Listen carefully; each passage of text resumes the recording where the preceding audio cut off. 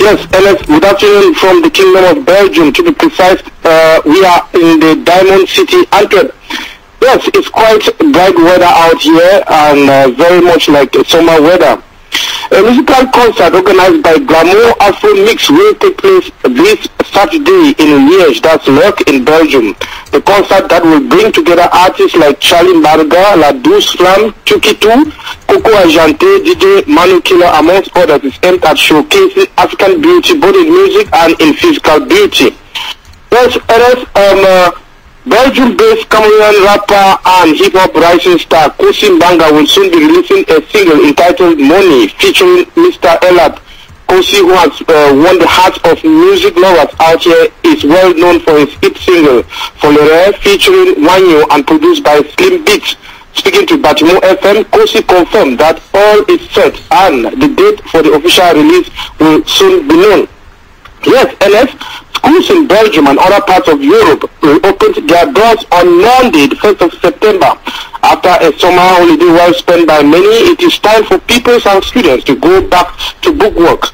One thing is clear, and that's the situation of rentrée scolaire in Europe is definitely not the same as is the case in most African countries. Remember, in our days as students back in Cameroon, when it was time to go back to school after a long holiday period, most parents face hard times, especially as acquiring textbooks as well as most items on the school pro- prospectus were usually bought. In Europe, especially in Belgium, that pinch fell is not as that which is felt by most parents back home. Here, better planning is done, and there, there will never be, or one will never see parents hovering around to buy textbooks or uniforms. The situation of hardship may be different to parents who have children in Europe. With such cases, the weight of rentrée scolaire falls on the shoulders of those in the diaspora as they have no choice but send something home to support the school fees or buying of textbooks and other school needs.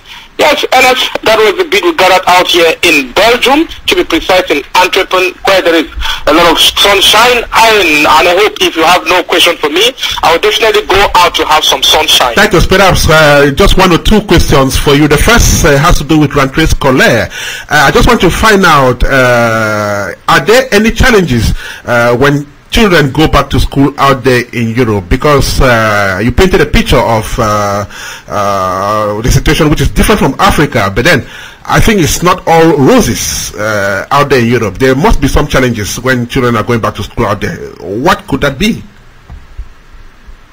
Yes, uh, the challenge is that uh, out here in Europe, uh, we, I have, uh, I always say that most parents, the real parents are still in the diaspora because back home, you don't face the situation where you have to get up early in the morning, you prepare your children to take them to school. The, the, the situation may occur, but on limited days. But out here in, in, in, in Europe or in the diaspora, you have no choice because you don't have cousins, nieces, uh, and, and other family members who could do the work for you. But out here, the main challenge is that you have to get up very early in the morning to prepare the kids to go to school, and then you take your own, uh, uh, and then you go to your own work.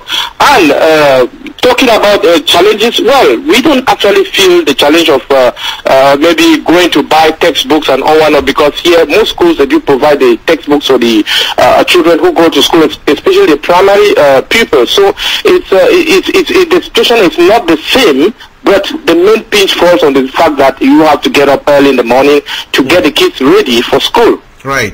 Then uh, back to a domain which you master so well, Titus. I'm talking about uh, entertainment. A, a lot has been going on uh, in the Cameroonian uh, film industry here in the diaspora, especially in the United States of America. But uh, apparently, uh, Belgium is silent. There is uh, a CFI, uh, uh, a new wave of communication that you know is uh, very amazing to everybody now. But apparently, we hear nothing about Europe. So, what is happening to the industry out there in in, in Europe and in Belgium precisely? Are filmmakers still very active, Titus? Yes, uh, Ernest, I will begin by saying that I actually envy the situation of uh, uh, the Cameroon filmmakers out there in uh, America because I can see them, uh, I mean, bubbling with a lot of energy. As uh, compared to Belgium, well, Ernest, things have gone, we have rather gone to slumber, but then I did speak with the uh, uh, board chair of the Cameroon film industry, Mr. Ocha Vitalis, uh, whom I channeled a few uh, uh, a few difficulties, but then we will be bouncing back. You know, the main La Maison Mère, permit me call it here that way, and that is Great Bridge International, where I belong. So we have been quiet, and everything has been quiet. So definitely, we thought it wise that we have to bounce back because it looks like uh, other filmmakers are actually uh, waiting on us to be the pace setters as we have always been. Well, Ernest, I think it is really uh, a sad story that for a long time now Belgium has been uh, uh, sleeping as far as uh, producing films out here is concerned. But then we think that, um, well, uh, in French, somebody would likely say, je me recule pour mieux sauter. So we took off some time to actually put things together and when we come back, we'll definitely come back with a lot of steam Ernest. Je me recule pour bien sauter. Titus, that is a beautiful way of ending that uh, correspondence uh, from. And thank you so much. We hope to have you again next week.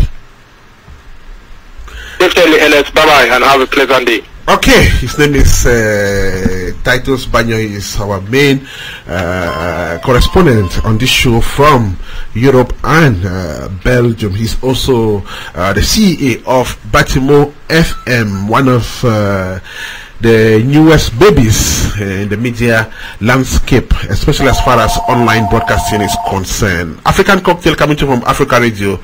Just listen to this music, then we will be back with you.